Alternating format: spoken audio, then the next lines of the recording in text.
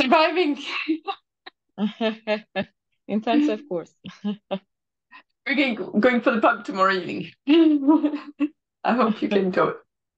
I already yeah. told her, you know. Yes. I, I made a light conversation. yeah, so we have um uh we have two Zoom, you know. We we do Zoom hopping. So it's uh it's very convenient. We do different things in the we cannot do uh actually uh yeah, so after we will have to go to the other Zoom afterwards. Uh because okay, for the workshop yeah for the workshop because we in this in this zoom we cannot do um uh, breakout rooms because this is a you know we it's this is a webinar so we have attendees as well and if we want to have attendees it's not compatible with breakout rooms but we have uh, breakout okay. rooms for this workshop isn't it? Everybody working individually as such. For the workshop we'll have to go to the workshop uh, so now we have a lecture. Yeah i know but we have actually break up uh, uh, occasion for this particular workshop since everybody's. yeah, but not for the lecture. So right now we have a lecture. So afterwards we will go to the uh, to the workshop zoom. But uh, now i would like to um, welcome giselle miranda who is from the uh, bioimage informatics facility that i just presented in the other zoom and um, yes she's going to explain a little bit also how the facility works i think Giselle, thank you very much for being here. Yes, so uh, well, good morning, everyone, and thanks for the welcome. Uh, it's nice to be here again. It's uh, another edition of the LCI course, and I I come at the end to talk about introduction to image analysis. So I hope you're not too tired, uh, and but I promise that will also be uh, fun. Uh, and I also have my colleagues from uh, IDA Data Hub. I don't know if they're already here, but we will have Eric and Emre during the, the workshop. Uh, so, uh, well, let me first share here the screen. So as Sylvie uh, mentioned, I work yeah, at the yeah, sorry. sorry, this is Eric uh, Ilipa. Hello. What's the, his last name? Oh, yeah, sorry. Is that Eric Ilipay. Yes. Ili, Ilipay. Yeah, okay. I'll promote him on the panelist. Okay, thank you. Okay. Yeah, so uh yeah, so right now we will have an introduction, uh, which will also be like uh with some concepts of image analysis that we're going to use during the workshop. But this lecture is also an overview of the field uh, and a bit of what we do at the Bioimage Informatics facility, uh, handling projects uh, with different aspects of, of bioimage analysis. So this is an outline of my presentation, and I will start with some concepts and examples. Then we will go through some uh, basic concepts on uh, digital images. And we are going to talk also about how to ensure image quality for image analysis. And then we are going through image processing and uh, we are going to see what is a typical bioimage analysis workflow. And I will briefly discuss some machine and deep learning methods and some final remarks. So let's start then. So what is bioimage analysis? And here sometimes I'm going to shift to image analysis as well. But when we talk about, about bioimages, we want to understand and, and quantify uh, microscopy and medical image data. So we want to be able to extract uh, information from images. Here in this example, for instance, we want to quantify fluorescence intensity in the nuclei. So then we can analyze profile across experimental groups, for instance. So we are going from images to numbers and numbers to knowledge. And this is a process that is quantitative because we are obtaining uh, some quantitative measures, measurements at the end it's also objective. So we have uh, defined the goal. What do we want to extract from images? Do we want to analyze the intensity? Do we want to analyze shape of objects? It's also it, it should also be reliable uh, in the sense that uh, the methods we are applying uh, will lead us to to reach this goal, to reach the to reach this objective, and should be repeatable. So if we repeat this process, uh, we will get the same results and also reproducible in the sense that if someone else uh, applies the same methods on our data, it will reach the same results. And this is, uh, there is now a great demand uh, to computational tools uh, uh, to analyze such data. And this is due to advances in microscopy techniques. So I'm sure that during the course you saw a lot of uh, advancements, uh, different uh, microscopy techniques.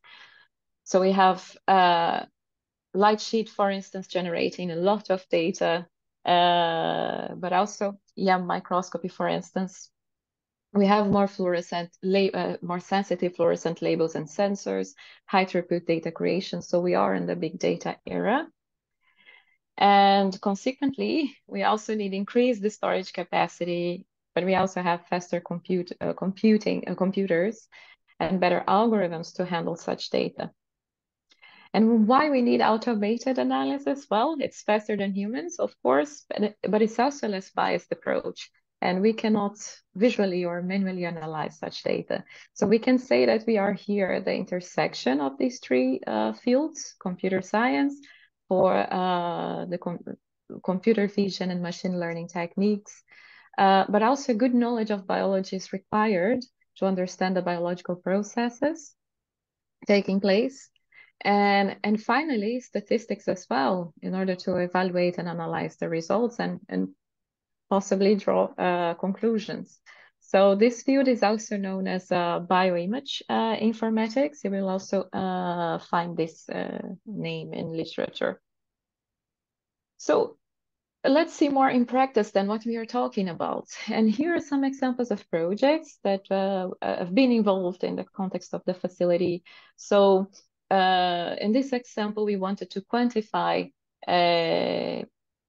expression protein levels uh, in uh, in the context of testis microenvironment, so analyzing adult human spermatogenesis. And here we are working with average intensity uh, expressed uh, in each cell. And this is multiplexed imaging. And here we used an approach based on pixel-based classification to analyze if the signal is positive, is negative, uh, so to analyze the level of expression. So we are talking about average fluorescence intensity. But uh, we can also analyze the structures. So in this other project here, uh, we used bioimage analysis to assess the structural and functional changes in the epithelium in the in the presence of HIV. Uh, so we the goal was to understand the quality of the protective epithelial border, how it changes in the presence of infection. Uh, in this other uh, example here, we have a time series of calcium activity. So uh, the goal was to analyze how uh, to characterize uh, the beating pattern of, car of cardiomyocytes when exposure to exposed to different physiological stress and toxic substances. And we used an approach based on spatial frequency analysis. So we characterized for each group the, the beating uh, pattern of the cardiomyocyte. So the frequency, it's a frequency analysis. Uh, I have also another example here, and the goal uh, in this project was to out, uh, automate, uh, uh, it was an automated detection method to analyze the vascular changes in tumor draining lymph nodes.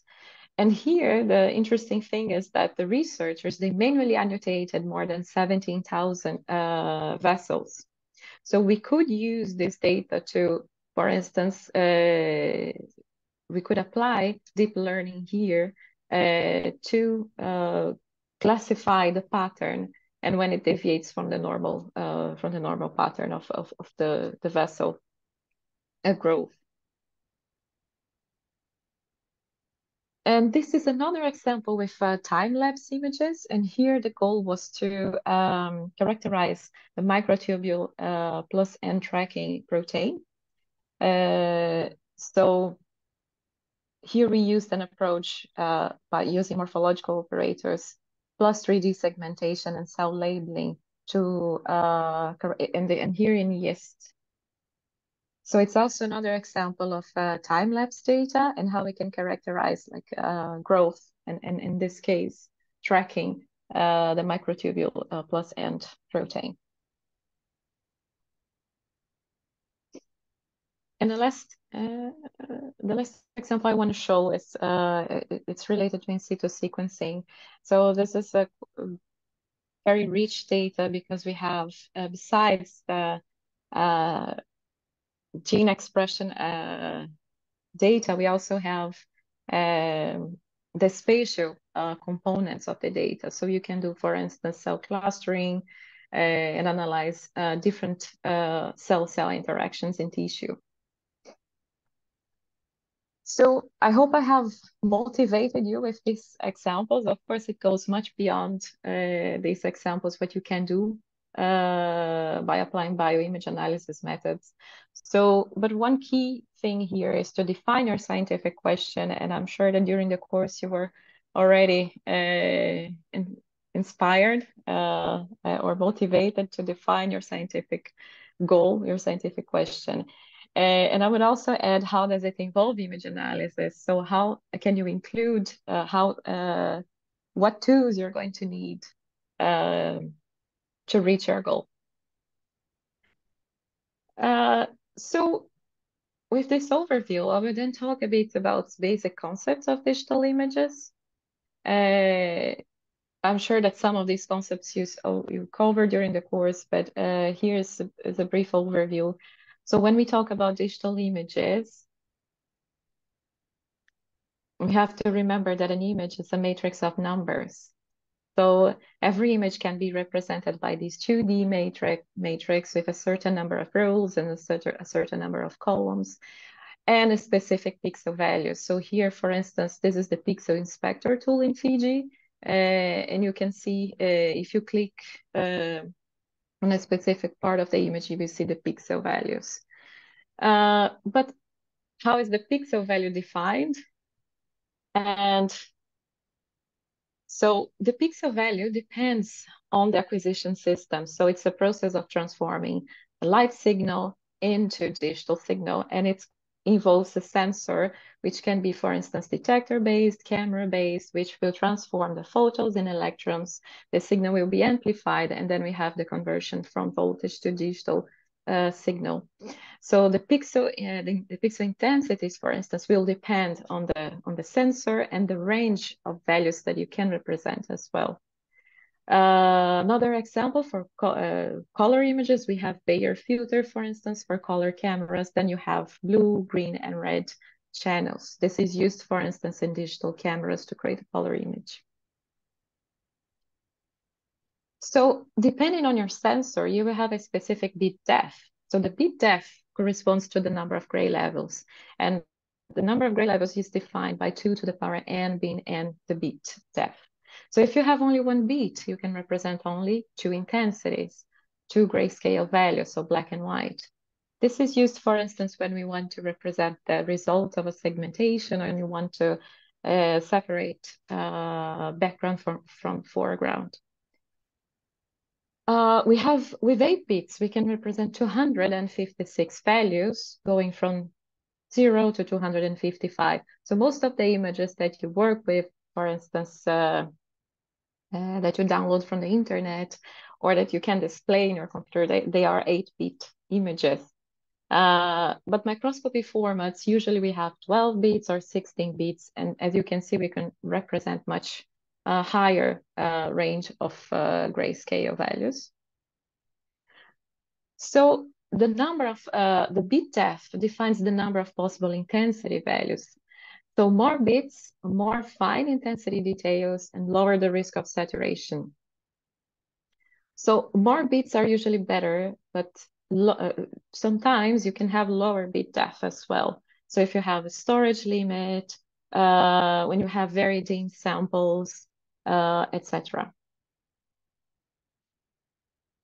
Well, when it comes to color images, uh, we have examples of, uh, yeah, from, from microscopy, like for instance, H&E uh, stained uh, tissue samples. Uh, in this case, the image is then each channel has its own um, matrix of values. So each uh, value in, in the matrix now it can be represented by the components in the red, green, and blue uh, channel. So this is a colored image. And we can, of course, split these channels to analyze. So we can split in the RGB space. So if I split this uh, sample image here, you can see the differences in each uh, in each channel. But we can also uh, divide or uh, split the channels according to the dyes. So there's a technique called, uh, called the color deconvolution uh, that can be used, for instance, to perform spectral unmixing of the dyes. So it takes advantage of um, the optical density of the dyes, in this case, the hematoxylin, and uh, using, and also background, here's the, the last image. Uh, and the advantage here is that you, it's much easier, for instance, th this is this can be a pre-processing technique if you want to further, for instance, count the nuclei here, so you can easily segment. But fluorescent images, uh, they are they are actually represented by independent. They have an independent channel representation. So this image here, for instance, can be uh, separated in these three components. And if we take the green channel, each of them with its own uh, matrix representation, and if we take the green channel here, uh, we can even change the color. We can change how this image is displayed. And for that, we use the lookup table, which is basically color coding. So it's the same information, but uh, shown in different uh, in different colors, in different uh, color scale. But the important thing is that the original values are not modified. It's just uh, uh, their representation, their visualization that is being modified. But why we would do that, right? Why we would change the representation here? Well, there are different reasons for that. Uh, here we have an example of a thresholded image. Uh, and, and this, this is actually a segmentation result. So we have a background and foreground represented here. So we can say that this is kind of lookup table showing us the result of a segmentation, showing us the blobs and the background. But besides that, changing the lookup table can also be useful too when you're labeling components, for instance, to highlight instance-based segmentation. So before, uh, uh, besides uh, se uh, segmenting each blob, we also want to characterize them individually. So using a, look, a lookup table, for instance, that labels each individual uh, that shows each labeled component in a specific color helps us to uh, uh, vis uh, visualize the data, especially when you have clustered objects like cells or nuclei. Another example of lookup table is the high-low lookup table to detect saturation and other exposure. Uh, so this is a lookup table that shows in red when you have the maximum value in, a, in the intensity range and in blue, uh, the lowest um, intensity. So here we can see that it's saturated and but also underexposed. And this can be useful uh, even during acquisition. You can use this lookup table uh, to avoid saturation and other and our, uh, other artifacts. Uh, another important concept when dealing with images and that uh, brings that contains a lot of information about your data. is a histogram. So if we recall from the statistics, the histogram is the distribution of a variable, right? And here we are analyzing the distribution of the pixel intensities. So these histograms were obtained in Fiji, and Fiji already shows uh, to us like some basic uh, statistics here as well, like the most frequent value, maximum value, minimum, and so on. So we can see here uh, the convention uh, is that the, the brightest, the brighter the region, the higher the value. So here in this histogram, for instance, we can see a peak in somewhere here, the maximum is 253, so quite close of the, the maximum intensity. Uh, but when if we look at this other image here, then we can see that the peak is more to the left or the the dark uh, the darker values. So the the the mode here is 17, for instance. Uh, but uh, and of course, the pixel order does not affect the histogram. And basic measurements you can derive from histograms is if analyze the mean intensity, analyze variance, the standard deviation, and and so on. So it's uh, really important to uh, understand how to interpret the, the, the histogram. Uh, another concept, and uh, this we work a lot uh, when visual, visualizing the image, interpreting the image, is uh, sometimes we enhance the contrast, for instance, to see uh, uh, to see to better visualize the structures, for instance. So when we talk about brightness, it's we're talking basically about um, about the amount of signal, the amount of light. So if we compare images A and B, we can see clearly that B is brighter than A, right? And contrast is related to the maximum difference in intensity. So if I uh, if we have a look at the both histograms of both images, we can see that the image on the right has a higher contrast. So the image on the left, the range is between 0 and 166. And here on the right, we can see that the range is between 0 and 2 and 255. So we do that to better visualize the image. And if you're in Fiji, you have here uh, the brightness and, and, contrast window where you can, for instance, click auto to automatically uh, uh, uh readjust uh, the, the range.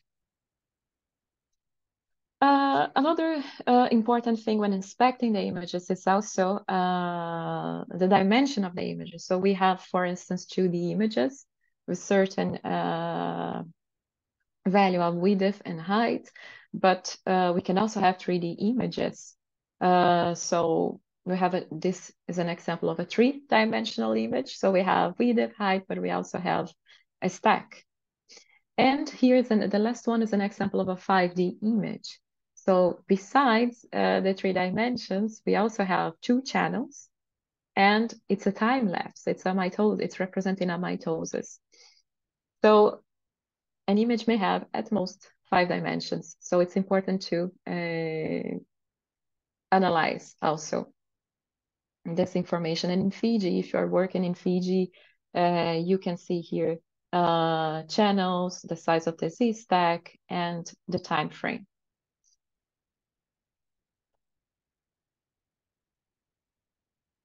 Uh, well, image metadata can come from uh, both like the experimental setup.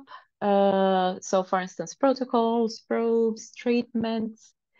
It can also be related to uh, acquisition parameters. So filters, gain, exposure time. But uh, also, uh, it can also contain outputs from processing and analysis techniques. So if you are, uh, you can have, for instance, uh, information about each cell, about about each nucleus, and uh, so these are uh, more related to analytic metadata.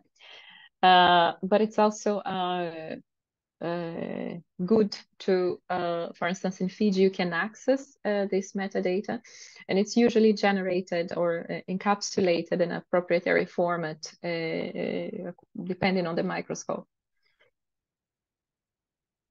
And we then uh, we can also make a link with file formats. So we have different file formats in microscopy, which can be proprietary formats. Uh, so for instance, in Nikon software, you will see then the ND2 extension, uh, Zeiss, the CZI extension, and they usually uh, and they uh, they store metadata like that that we mentioned in the previous slide. But we also have more general file formats. Uh, we have JPEG, for instance, that is lossy compression. So you can lose information here. So we don't use JPEG actually to uh, to analyze images, like to, to do image processing, image analysis.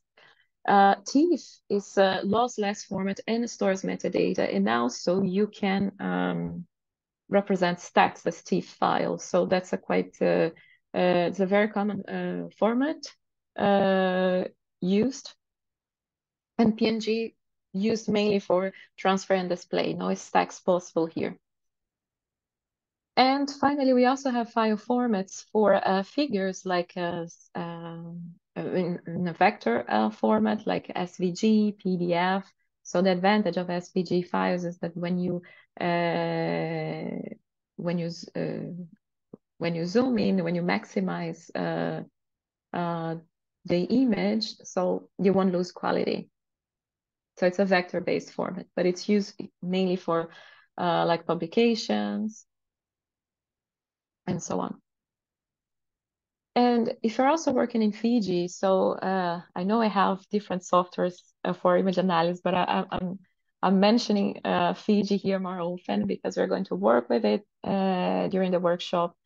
Uh, and also it's one of the most used softwares for image analysis.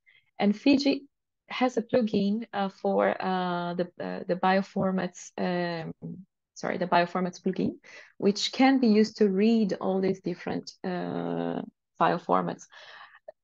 Bioformats is not only for Fiji, you can find it for Python as well, MATLAB. So it's a, um, it can be used to read these different file formats. So a good practice, it's always keep the original files and uh, refer to the acquisition software for the original metadata. Well, so this was like some basic concepts uh, on how to interpret images, how to visualize them. Uh, but another important uh, topic is how to ensure image quality for image analysis. And I think you also covered a bit uh, during the course or more extensive uh, uh, about some of these topics. But here I'm going to uh, relate how, what we can do if some of them we can correct at the level of image analysis uh, or meaning after acquisition. So there are some artifacts that cannot be corrected and they should necessarily be corrected during the image acquisition. And that's the case of saturation, bleed through, for instance. So let's have a look. Uh, histograms, they help to identify saturation. So for instance, here we have the same uh, picture, but in different conditions. So the first one underexposed, uh, on the right one, we have the overexposed version, so you can see how the histogram varies. And uh, here, for instance, on uh, with the underexposed histogram, we lose the details. We lose the edges, for instance. Uh, and also on the overexposed. So objects may appear larger here. So that's why it's important to uh, not saturate and not underexpose the image. It's also important to avoid saturation when you have when you're comparing across images. So if you have one image that is saturated, you are already saying that, oh, that's the highest intensity that I can have, right? So that's why that's why it's important to avoid saturation, and that's nothing you can do uh, from the image analysis uh, side that to correct that. Bleed through is another example. Bleed through uh, compromises the intensity and shape measures, And we are going to see, we will have a practical exercise about it uh, the, during the workshop. Uh, so here on the first row, we have like sequential uh, acquisition. Uh, but and here we have simultaneous acquisition on the on the bottom row. And here we can see the the the, the bleed through. So this also compromises co-localization analysis. So if you're performing, if you're analyzing two uh, specific markers and you want to analyze how they co-localize, if you have bleed through, then the measurements won't be reliable anymore. And so you have to fix it in the acquisition time. Uh, bit conversion is, should also be, uh, uh, you have to use it with caution. So for instance, if you if you want to go from 8 bit to 16 bit, uh, so if you want to do that, the bit depth does not change the pixel values actually. So you have an image with a in a lower bit range, and if you want to transform that to 16 bit, the pixel values won't change.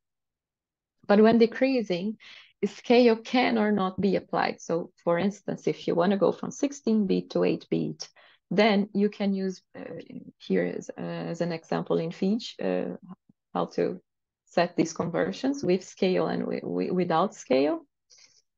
Uh, so if you scale, then the whole range of your 16-bit image will be scaled to the 8-bit range. But if you don't scale, then all the, uh, the, the, the, pixel intensities that exceed the maximum in the 8-bit range will be 255. So you should take care with conversions as well. But why do we convert? why, why do we do that? Well, conversions should be applied with caution. But for instance, there are some specific plugins in Fiji that were developed for 8-bit images. So you may need to uh, to to do the bit conversion, for instance, if you need to use those plugins. So it's always good to keep the original image, and uh, if you need to process, uh, then you can copy, uh, you can duplicate the image and then convert and then use the plugin that you need. Other image operations um, that are also that cannot be fixed. So it, contrast enhancement uh, if saved. So I showed, uh, we talked about brightness and contrast before. Uh, and here, if you try to apply, for instance, in Fiji, it will uh, issue a uh, warning for to you, like, do you want to save? this will modify the pixel intensities, for instance. So if you save that, then of course you will lose the original value. So a good practice is always to create a copy of the original image when working with Fiji. Well, other artifacts can be corrected, but sometimes it's better to correct them while, while acquiring the images. So here are things that we can do with image processing. So denoising is one example, and this we do uh, a lot, uh, actually, as a pre-processing step. So here you can see the filtered image and the original noise image. Uh, stabilization, are, here you have an example of a um, uh, a small drift here highlighted in green and how it was corrected uh, in, in, in the second uh, part of uh, in the second part. So this is also uh, necessary. You have to correct this before you do any further processing. So these are example of things that can be corrected. Illumination correction, we will also have um, uh, we also have an example on the, the workshop. Uh, here's an example of vignetting. So, so this is a mosaic image, right? A, stitched image, and we can see the mosaic, uh, like the, the, the tiles here, and the corrected version. So there are uh, methods to correct uneven illumination. And here on the right, we have uh, same example and the corrected pair. yeah, and uh, so this is my last example on, on how to ensure image quality. Uh, it also goes beyond, but uh, it's good to uh, make a, a, link here with the acquisition. So uh, whatever uh, you can correct during the acquisition, it will make our life easier also, and when processing and analyzing this image. So we saw some examples of bioimage analysis. We saw some uh, uh, a brief introduction on on, on uh, digital images, and we saw how to ensure quality. So now we will move to uh, how to analyze. Uh, here first, talking a bit about pre-processing and enhancement. Uh, so an example here could be noise removal, for instance. So image operations, they are designed to modify or enhance properties such as edges, uh, corners, and blobs. So we can, for instance, denoise an image, we can detect edges, uh, or we can blur an image, and we are going to see why we do that sometimes. So these are all examples of uh, uh image enhancement and pre-processing. They can be performed in both the spatial domain and in the frequency domain. Uh, so if we remember that an image is a matrix of numbers, we can now we, we can perform some uh, basic operations, basic arithmetic operations here. So if we take this image as an example. Can I just interrupt we... for a second, just to say that what you said before, uh, just to relate it to the lecture, uh, when you said the uh, spatial uh, domain and the frequency domain, this is the Fourier transform that I was talking about yesterday, just to relate it because I didn't use the frequency domain word so that people know. We're talking about the Oh, stuff okay. that the Fourier transform. Yeah. Yeah, we are going to see an example also. Uh, yeah, so, well, here we have uh, segmentation masks of the, the cell, the nuclei, and also the outlines, right, of the cell and the nuclei. And we can perform some basic arithmetics here. So maybe you want to measure intensity only on the cytoplasm, so you can exclude from the uh, the cell out, uh, outline, you can exclude the area, uh, uh, you can exclude the nuclei. So you can combine these different uh, uh, masks here. More, uh, a bit more advanced, you can also apply filters to images. And one uh, uh, very much used class of filters are convolution filters. Uh, and they involve uh, the definition of a kernel. So imagine that you have uh, an, your original image, and you will convolve this image with a specific kernel, and you will have your filter in, filtered image. And you can, uh, this kernel has different shapes. Uh, so it can, you can define a kernel to detect border, to denoise, and this operation here is known as convolution. And how does it work? Just to give a simple example. So if you have here this uh, matrix, your original image here, or part of it, then you can convolve this image with your kernel. So for each pixel of your image here, we have example of this pixel here, 100. You will multiply uh, by this uh, matrix and sum the values. And in the final image, in the filtered image, this will be the new value of that, of that pixel. So each pixel in the original image is multiplied by the corresponding value in the kernel and then summed. And then you can design this kernel for specific tasks. And here we have the average filter, the mean filter. So this is a practical example. This is also used during acquisition. You can uh, also define uh, if you uh, if you you use a mean filter and average filter or not during acquisition as well. And as the name says, we are uh, finding average values. So again, if we take part of our uh, specific region of our original image, and then we are going to uh, do the average of this region, and then the pixel in the filtered image will have a new value. But this is performed for every pixel. And then we compute the sum again, and then we will have uh, the new value of the second pixel. And here, just uh, as a comparison, here now we have the median filter. So the median is, uh, first we sort the values in this neighborhood, then we take the, uh, the value at the center, the median value. And this will be the value assigned to the pixel. So these are the differences between the mean and median. We are going to use also uh, these two filters in the workshop. And uh, in a more, well, let's illustrate then in a more practical way here the difference. So if you have such an image where it's, it's mainly dark, but you have one bright pixel here, right? So if you use the mean filter, what will happen actually is that you will, this region, you will smooth this image, this region, and you will have here, uh, well, this is the final result, right? Because you're averaging values. But if you use median filter, it will be uh, cut out because it will, from this neighborhood here, uh, this will be uh, at the end of the, if you sort the values of this neighborhood, this will be at the end. So this won't be the median value.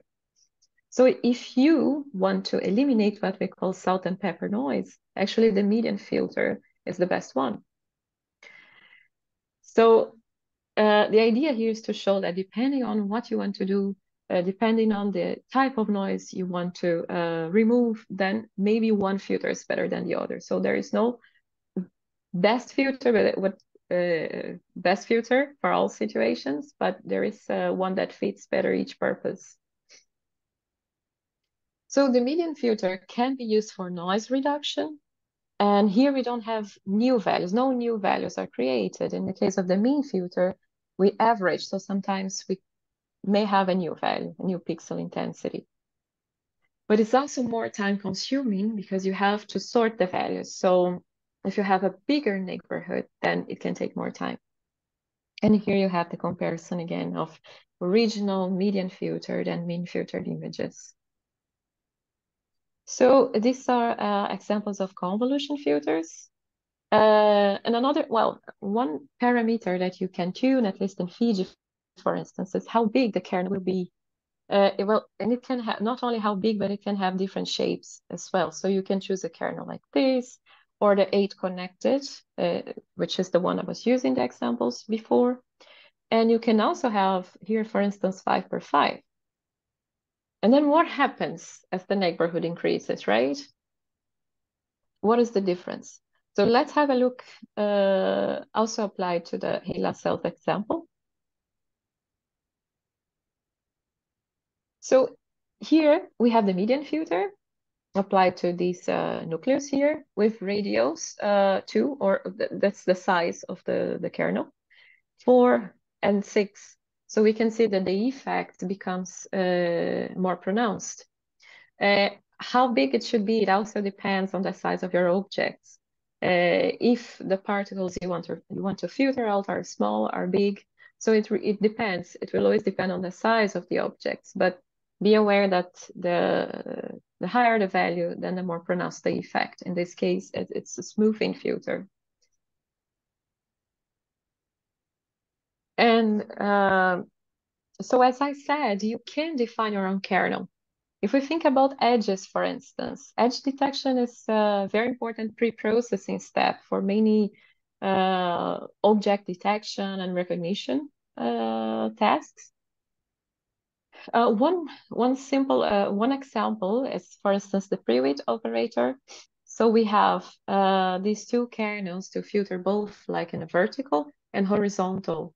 So uh, you can see that it's you're basically finding subtracting uh, uh, the like here the right side from the left the left side from the right side and vice versa for horizontal and, and vertical um, detection.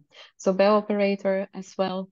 So custom, customized kernels can be implemented uh, in Fiji uh, for specific tasks. So these are just examples how to uh, use these kernels. But there are other examples of uh, filters. So a Gaussian filter, um, very much used as well. So it's used to blur images and remove detail and noise uh, computationally efficient, rotationally sym symmetric, right? If we look at the bell-shaped kernels here. Uh, and the degree of smoothing is given by the standard deviation. So here you can see, for instance, yeah, I still like the clown example and the Gaussian filter. And why we do that, why we blur images? Well, it it can help other uh, steps in the image analysis pipeline. So when you blur, you have a more homogeneous region here. If we look at the uh, the white part here, the close to the eye of the of the clown. So this can help, for instance, when applying a thresholding or other segmentation technique. The, these are other examples of filters. I'm not going into detail here, but for you to know that there are different classes of filters. So these filters are more related to the morphology of objects. So they describe shapes by using another shape as a test probe. So if you have this binary set here, these two components, this bigger component and the smaller component, component, then you have a filter called dilation that will dilate the bigger components based on the smaller component. And the erosion, and the final result here, as you can see, they are now the two uh, connected. Sorry, B is the, the structuring element and after we apply dilation here, we connect then. And similar here, erosion operation. Uh, so you do that to decrease the size of objects. And objects that were connected before can be can then be separated. And this can be interesting. Uh, for instance, if you want to separate cells, if you want to separate clustered nuclei, and here's an example of both in the first role for binary images and in the second role for, for grayscale images, how dilation and erosion uh, works. Uh, and the more interesting, the goal, again, the goal here is that you, you don't need to uh, uh decorate here what each filter does, but you can combine these uh, dilation and erosion uh, uh, operations to create other filters. So for instance, to uh, for boundary detection, edge enhancement, and so on. So you can do like uh, different things with these uh, morphological filters. You can combine them to, to create more complex operations. And the last thing I wanted to mention about filter uh, Sylvie already uh, uh, yeah mentioned that you uh, saw uh, something uh, you covered Fourier transform.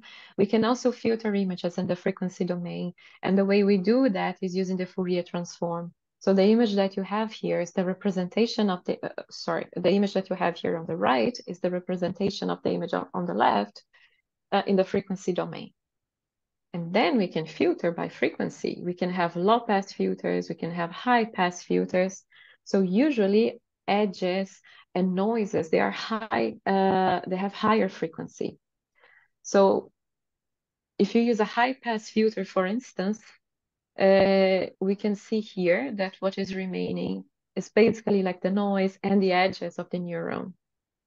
And low pass filter will highlight the more constant regions or, or uh, not the borders, for instance. So we can uh, we can also use filtering in the frequency domain. Okay, so well, we saw lots of lots of uh, so many different filters here. Uh, let's then talk a bit about the image analysis workflow. Well, there is a pathway here, right? Going from sample preparation to image acquisition, and this was covered mainly in the in the uh, in in the previous classes, right? Uh, and then, so if you you have to ensure quality here, so you make our life easier also uh, when you start the image analysis. So one of the first steps in this pathway in this uh, image analysis workflow is to pre-process the image. Do you first of all, do you need to do that? Do you need to reduce noise? Uh, do you need to perform background subtraction? Do you need to filter? So these are things you can do to enhance the image.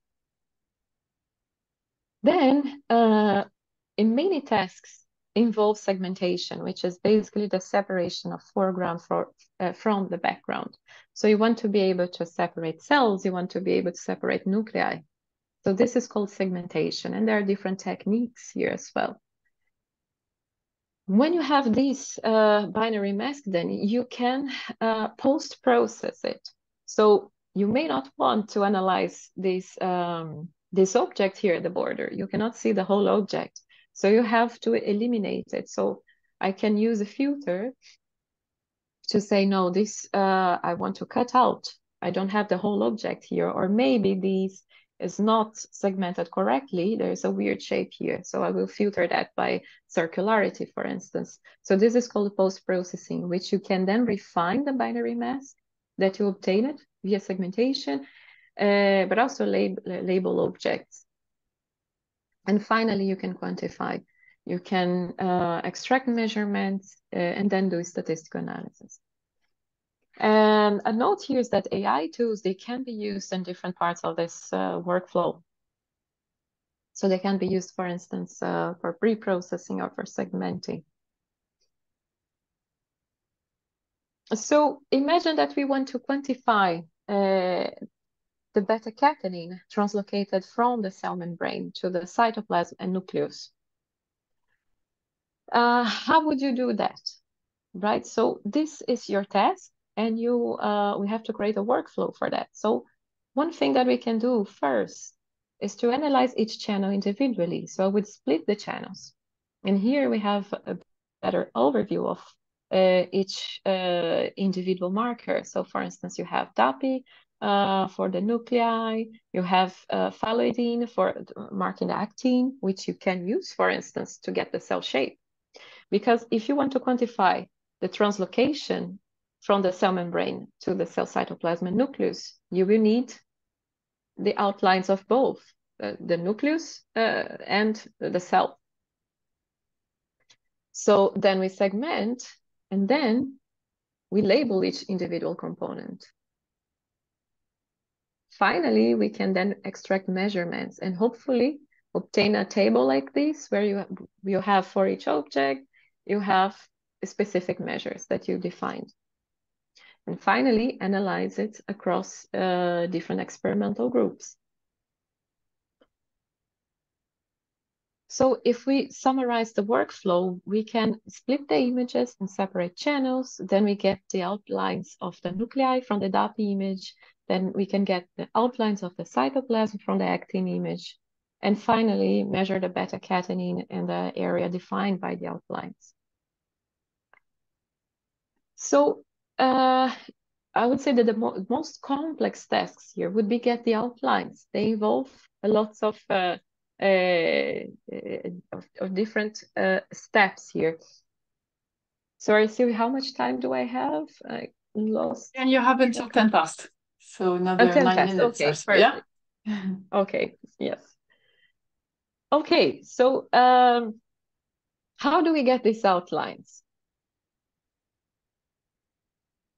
So these are our, uh, they represent our regions of interest or ROIs. Uh, well, we can annotate them manually, right? So in Fiji, you have different annotation tools. You have the ROI manager where for each annotated object you can include, and you can do things like, for instance, you can measure, you can uh, uh you, you can measure intensity, shape, and so on. Uh, but they can also be obtained via segmentation, right? In a in a big image, uh, you or if you have a big data set, you cannot do this manually, and it's also less biased, biased if you use a an automated segmentation approach. And here we have different examples. So you can uh, ROIs can be, for instance, part of a tissue. They can be nuclei.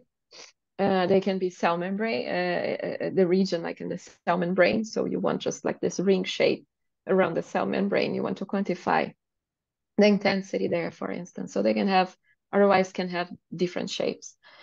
Uh, so segmentation separates the objects of interest from the background. And uh, threshold, thresholding methods, they're the simplest segmentation approaches. So you go from the image to the binary mask and the labeled mask. Uh, if you are in Fiji, if you're working with Fiji, you have different thresholding options. So one thing to notice here is that if you choose a different method, uh, you have different segmentation results. And that's a common doubt, like when, when, uh, uh, when people come to me and say, but how, how do I define which one is the best? Well, here is it's something that you, it, it's really a try, trial and error. So you should uh, test the different methods and see the ones uh, the one that uh, uh, is most appropriate for your data. But most importantly, you should apply the same method for uh, all your images. Otsu is very, it's a very famous method, very commonly used. And uh, what it does is it, it tries to find uh, the value that maximizes the interclass variance between, in the class here, meaning foreground and background. So you can see here that the peak will be, uh, for the interclass variance, will be almost uh, basically this point here. And then you can see the separation, right, in background and foreground. So this is a very common method, for instance. And as post-processing, to refine the binary mask, then there are different uh, uh, methods as well. So we can have, for instance, the few holes operation, or filtered objects by size, circularity, for instance. So this one is clearly not uh, uh, well segmented, so you can exclude by circularity. Or watershed. Uh, watershed is a transformation that allows you to uh, separate clustered objects. So you have here, for instance, um, your segment the segmentation is good but the objects are still connected. So it allows you to uh, by applying the watershed transformation on the binary images you can for instance define these uh, lines where uh, if you think that this is a catchment basin and you start filling with water when the water uh, when the meeting points will be the dividing lines of this transformation. So you can divide uh, you can split clustering nuclei, for instance.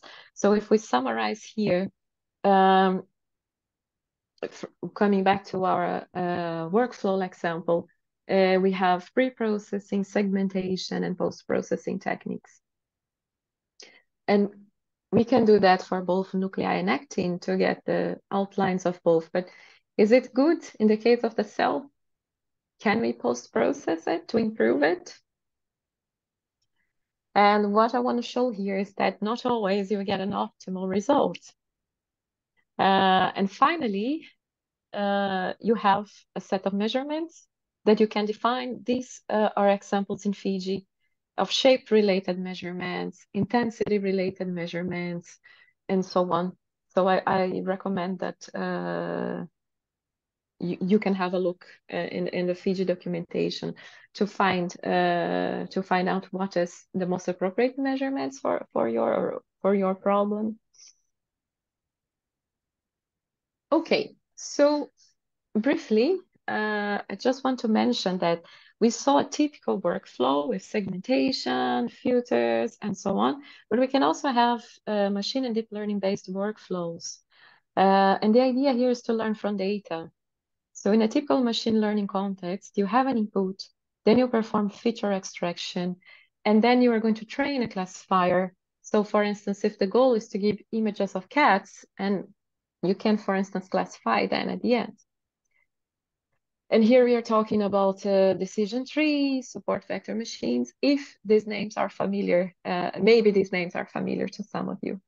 But in a deep learning approach, um, the the steps of feature extraction and classification, they come together. So we don't need to hand engineer the kernels anymore. We can let the, uh, the classifier learn uh, these filters. Uh, and it can be, you can use these for classification uh, or other image analysis tests. And one of them that is important for us is segmentation. So a deep learning-based segmentation, what you provide to the network is a pair of annotated training data. So you have the input and uh, uh, so you have label data. And then what you expect is to obtain the segmented uh, uh mask. And you train this with a large number of samples. So when you present uh, and this is what we call the training phase. And in the test phase, you can present a new image that was not used to train, and you hope to obtain something like this, what we call instance-based segmentation. So part of the, the training is usually done on the GPU. Uh, uh, it's quite uh, depending on your, of course, uh, data, data size and so on. That will be impossible to run locally, so you need a GPU for that. But once the model is trained, you can use this model locally on your co local computer, for instance. And this not only for segmentation, for denoising as well. So here's an example of denoising. So what you train is, uh, your training data now is composed of noise and filtered uh, images, pairs of noise and corresponding uh, noise and filtered image. So, uh, and deep, I mentioned that because deep learning methods have uh, they have been they have been providing much more uh, much better results compared to more traditional uh, segmentation methods. So here is coming back to our workflow as an example. You can see uh, that the cell now is uh, here. I used the CellPose, I guess, uh, and you can see a much better results uh, for the cell segmentation. And here are other examples. Okay, so uh, these methods can be used. So you can use the trained models on your own data. Examples include CellPose and StarDist, two uh, famous uh, algorithms, methods for um, cell and nuclei segmentation. So here you have examples of uh, CellPose, for instance. This is a DIC image uh, of red blood cells, and you can see here the comparison with thresholding and CellPose so it performs much better. This is a very low contrast image, so I would say quite complex, quite, quite hard task. Um, H&E image, so it's a, it's a generalist algorithm. You can try different image types. Some of you may also be familiar with uh, Weka or Ilastik tools. And these are tools that, and this is uh, for pixel-based classification. So these annotations here, these drawings were um, uh, made uh, were manually annotated in this image. So you're basically saying that for same color, you have same classes, and then you can do things like this. So you can, this is an EM image. Uh, so you, by marking a few pixels, you can train a classifier. So you will have a region-based uh, result like this. So if deep learning is better in this case, is why do we still use classical approaches? Why did I spend some time here talking about filters, about classical workflows? Well, uh, the deep learning, we have the deep learning generalization problem. CellPose works for different types of images, but you may have examples like this, which is also the result of CellPose and uh, not so, uh, not as we expected. We can try to change the diameter, but uh, yeah, you still won't get a good result. So ideally here, you would have to annotate and train these data uh, and not use a trained model. Uh, so some, but sometimes you have lack of annotated training data or small data sets, which wouldn't be uh, wouldn't be feasible to train such small data sets or even annotate large data sets. That's also complicated. And image analysis is not limited to cell nuclei segmentation. If you want to uh, segment parts of the tissue, then you, uh, you you need to have a specific um, specific uh, approaches. So always remember that image analysis is part of this uh, the uh, include image analysis as part of your uh, scientific question. So knowing what you need and uh, to retrieve from your images can also ensure image quality. So if you know what you need, you can also adapt acquisition for that. And our brain is still much more efficient than computers in identify pattern, identify, identifying patterns. So uh, you should specify this workflow in a way that you can reply your scientific question. Finally, I'll just uh, briefly talk about software tools. I will leave here in the slides for you. Uh, of course, it's, there's a lot of tools out there. Uh, these are just a few examples. Um, if you're interested, there's, uh, I think this papers from last year, yes, uh, about the future trend in microscopy, smart microscopy, connecting bioimage analysis with fully motorized and computer-controlled microscopes. So you would be able, for instance, to, to test things like segmentation even during acquisition uh, time. So I think that's one of the future trends in microscopy. And I will leave some useful links here as well. So sorry for uh, the, time. And uh, good, three minutes. I, if you have any questions. That's okay. So please, if you have questions for Giselle before we go for the little break, then we can just shift so we can have 10 minutes break.